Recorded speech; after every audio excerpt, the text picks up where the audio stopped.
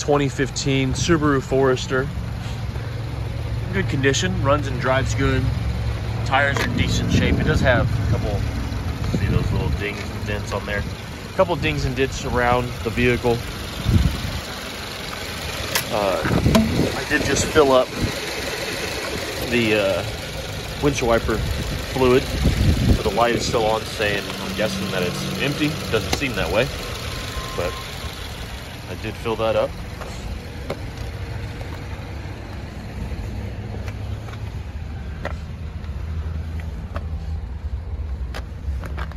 Seats have a little couple stains here and there. I'll have my guy scrub it and try to get everything out. Backup camera. Like I said, windshield wiper. Light is on.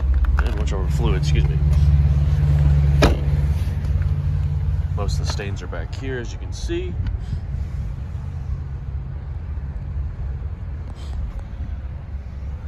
Yes, runs and drives good. AC and heat work. Decent tires all the way around.